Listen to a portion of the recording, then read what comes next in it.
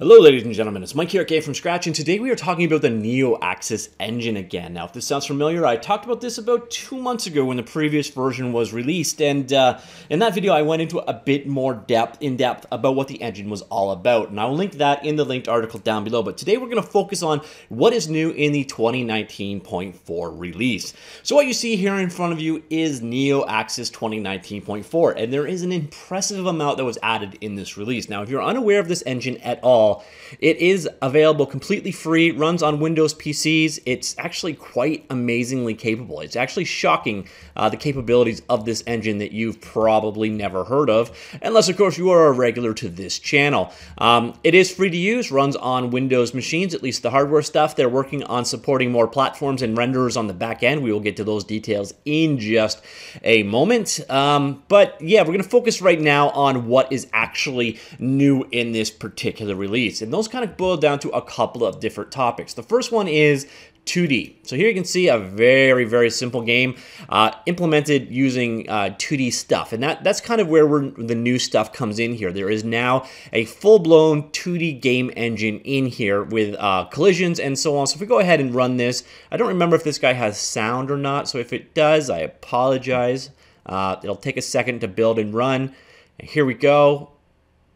No sound. Okay, good. So you can see very simple 2D game, but we do have uh, collisions. As you see here, we got uh, dynamic or movable objects. Then we have some static objects at the top for the world to bounce off of. Uh, we've got our controllable character. Uh, so this is the start of a 2D uh, game engine built inside of NeoAxis. So the 2D game engine features are brand new to 2019.4. I want to mention something there quickly before we move on. You may have noticed that the name of the release was 2019.4, and yes, it was actually released uh, just before Christmas. And if I can give you a suggestion, if you have a game engine and you want people to cover your release, don't release it right before Christmas because nobody's paying attention. Uh, just an FYI. I figured, um, eh, you know what, it's not that long ago, so I'm covering this one slightly belatedly. But yeah, if you do create uh, your own um, your own tech stuff, uh, do be sure you probably don't want to make any major releases around that time of year. Okay, why did you not end? All right, exit. Right, why is there exit and why is there close? Doesn't really matter. Anyways, so that is the new functionality there from the 2D side of things. Nothing too, too exciting yet, but the basics of it are in there. The next thing we got here is on the character side of things. We now have characters and character controllers. This isn't the most exciting scene you've ever seen in your life, but if you watch, uh, when we run this, uh, this guy over here at the top is a con character controller, and uh, I believe this guy right here is a character controller under our control. So what they've done is created a number of components. So this guy over there is being controlled. We got over here uh, another guy that's not really doing anything, and this guy is going to run until he hits this uh, physics limitation, like so, and then he's going to stop. And then what we can do is come up over here, and if we so wish, kind of be a bit of a jerk, we'll knock that out of the way. So you see, we've got two character controllers, one that actually uh, we're controlling. So um, you see, it's it's for uh, us, and then we can sit here and we can actually move this guy around. Now the funny thing is, when you actually start pushing him, he goes back into his walk animations, like so. So yeah, we can be a bit of jerk and push people off into infinity. But that was another thing they added here. So the things that control the cameras, uh, that control the uh, characters themselves, those are all components in the scene. So if you select one of these guys in the scene, you'll see a character now is composed of uh, character, uh, the component underscore character class, and then character input processing is available. This is the guy that we were controlling earlier on. And you'll see if you select character on it, you can actually select it to be uh, controlled by the player. You've got a number of different properties you can set for controlling characters here. So you see their height, uh, their mass, and so on as they're moving around. Uh, it, can they run? Can they jump? Can they fly? And then for every one of these things, we've got various different events that control it behind the scenes. You see here, you can link out to handle those events. Uh, in NeoAxis Engine, you program in using either their visual scripting language or using the C-sharp programming language. And then again, one of these guys, and I haven't found it yet, but basically you say, yes, the character is controlling this guy. It might be down here. Uh, nope. All right, it's somewhere on here. I might be on the wrong character too. Uh, but basically, yeah, that is uh, one of the new things here. They've got the character stuff going on. And then the final new major thing here is the builder support. So just by looking at a couple of these examples, you're getting an idea of just how robust the functionality here is. So here you can use it for, it's like Mesh Builder in um, in Unity, so you can build and prototype levels uh, using CSG directly inside of the editor. So you got all these various different pieces to work with and play around with.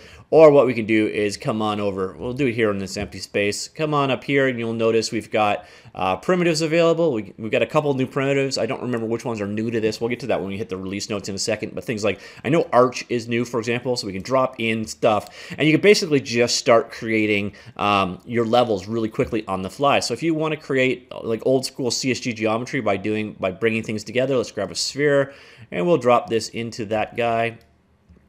All right, so let's move these two so they're actually overlapping, like so-ish. Think we're overlapping now. Yeah, all right, so we got some overlap going on.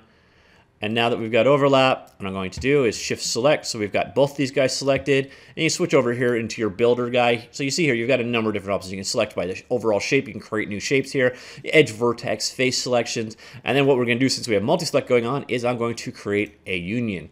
So now what I've done is I've turned, and I don't remember if it's the source or the destination. I think it's the second one. Yeah, so there you see. Our sphere now has a ball attachment. Go back to our arch and get rid of it if you so wish. So you can see you can create uh, compound geography, uh, geometry geometry, sorry, geography. Uh, really simple. You've got Boolean effects available there. Uh, we can set the material and color on things. So if we wish to make it mauve or purple, uh, we can do so. Although it's not actually setting it yet. Oh, no, it's because when it's selected, you can't see it. All right, let's try that again. Set color. Make this guy reddish. Okay. All right, I'm using it wrong because that should set the color. So I'm definitely doing something wrong in this case. But anyways, you see here, you've got effects. You've got the ability, you can grab things by uh, edges, faces, and so on. The weird thing is I, I can't find any transformation tools, so hopefully these are coming uh, at some point in the future because you've actually got some of the slightly more advanced things here that you probably wouldn't expect. So for example, I can go here to uh, vertices mode. I can face select a bunch of these, and I can do things like split and merge. So if I want to do merge, a merge at the middle, and it will collapse all that geometry down to the simplified version. So you see, you got all the tools here that you would need to do uh, quickie, easy mesh stuff. We could do mesh smoothing. So if I go ahead and grab the object, we could go smooth normal. So see now we've got smooth results. And it is a full-blown editor. Now, again, the only weird thing that I'm missing, and this is probably me and not it, because I can't imagine what this would be there for, is once you've actually selected a face or multiple faces, I, I don't know any way to move things around. And we've got the move option up here. We've got move selected. It just it doesn't do anything. It's always in selection mode. So it might be a mistake on my behalf. I am not entirely certain, uh, but the only way I'm actually able to make movement changes is uh, at the object level, not at the individual face level.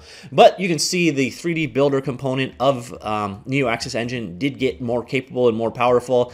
And with that, that is the major things going on here. But if you want to check it out, again, there are a ton of content uh, demos to start with. Here we go to the more advanced uh, nature demo. I think this one actually takes a little bit to load, but it gives you an idea of the capabilities of this engine. It is quite a shockingly robust engine. And you can see in this one release since, um, you know, a couple of months ago, we've added 2D, the builder got a whole lot better, uh, character controllers and so on. So it, it is an engine that is, in, um, it's improving at a remarkably good clip, as you'll see so far. And here we go. Here is an example of a, ooh, uh, a level editor or a nature level being done. For some reason, I think I'm running on the wrong GPU. But you get an idea of what kind of capabilities this guy has. Um, it, it, it's it's a shockingly capable engine. I, I, can kind of keep repeating that point, but hey, it's true. It, it is a uh, very cool engine that people, more people should probably check out. And we won't save that. We'll exit out. The only thing I kind of have going against it is the user interface is a little bit on the ugly side. Um, but that's kind of a minor gripe. It is definitely usable. Um, so here we go. So we're at uh, 2019.4 release was just released. Uh, you see here the additions. We've got our game framework. That's the stuff I showed you early on for character controllers. You can configure the camera types, first-person camera, third-person camera, free cameras, uh, stuff there for managing characters, uh, and so on. So a lot of specialized game objects to make creating a game a lot uh, easier because basically they've done the work for you in the game framework. Uh, then we've got the brand new 2D game engine. I showed, showed you a really quick demo there, but so far we've got 2D physics, sprites, uh, tools, demo scene, uh, 2D game engine is implemented as an extension. There's more components of that coming in the near future. Character component, I kind of covered that as part of the game framework because, hey, so did they. Uh, but a set of tools for creating characters. Uh, particle systems, uh, I don't really know what they changed there. That's kind of a vague limitation because it had particle systems before, I believe. Uh, so uh, that uh, terrain painting layers, primitives were added were arch, doorway, pipe, prism, stair, and torus. So there's the list I promised you later on. Uh, Builder 3D improvements, that's what we saw at the very end there for where you could create your own geometry and do the Boolean operations on them for some quick level prototyping. GPU instancing for transparent objects, new Axis baking, the ability to disable compression of archive that makes loading baked resources resources faster. Uh, the ability to set uh, color multiplier for decals in the scene, or decals, depending on how you say that. Add collision convex mode has been added. Uh, surface area has been added, and a bug fix in there for management of color properties of meshes when uh, GPU instancing is enabled. And yeah, that one didn't work so great for me today, but oh well. Uh, and then we've got some of the upcoming things that are going to be happening in a future releases. We've got uh, primitives, polygon-based polyhedron, a mesh geometry in the form of polyhedron generated by thickening a polygon. Uh, small improvements are going to be coming to Builder 3D. That again is that CSG stuff we showed at the end there. Uh, the editor is going to have the ability to disable animation of Windows auto hiding. A little bit of broken English going on with that one. I'm not really sure what they mean. Um, and then we've got the ability to configure which resources must be included in the final build, filter in the asset folder, option to include shader cache, option to include the cache of auto-compressed images.